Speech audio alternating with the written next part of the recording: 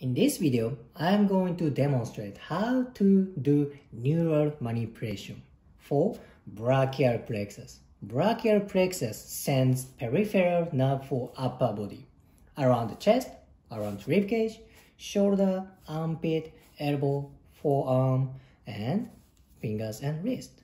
So this place is very, very important. If this place gets tight, it can have effect for rest of the upper limb. In this modern world, people have tendency to have impingement here. How come? Imagine there is a computer in front of the face. People focus on the computer, head forward position, neck forward position, and they use computer. So the shoulder is rolling forward, going forward. This movement can tighten up here. That's why this can create impingement. Then it can read numbness or pain. That's why this place is so important. How do I do? You see the vein here? This is one landmark. This is external jugular vein.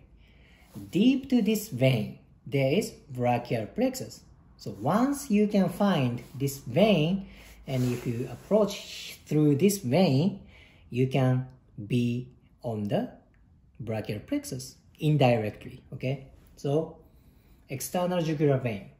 I put thumb on this vein, go deep, then I am on the brachial plexus. How do you know you are on the nerve?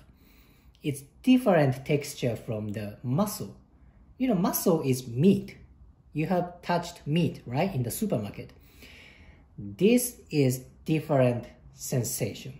It's like a cord of charger, cord of the computer. It's like the electric the cord, very tight. Especially if people have had whiplash or car accident, you feel even harder texture. Okay, so I am on the brachial plexus. I put stimulus distally. This is too much, but I'm showing you the exaggeration. You put stimulus towards distal way. Then you off leave it. Then nervous tissue starts to move. You wait until reaction finishes.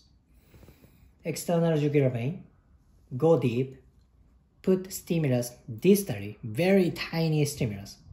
Leave it off, then tissue starts to move, move, move.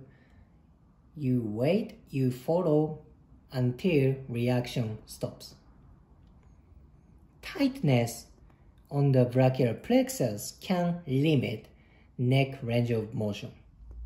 Of course, this can create pain and numbness. The symptoms depend on people. Some people have tightness, some people have numbness, some people have pain. It all depends on the people. Good. This nerve, the uh, neural manipulation is very, very effective. Review. External jugular vein. I put thumb here. Sink into the fascia. Put stimulus distally. Very tiny movement. Little bit off. Then fascia starts to move. Tissue starts to move. Follow until reaction stops. So if you liked today's video, please hit the like button, comment and subscribe. See you next video.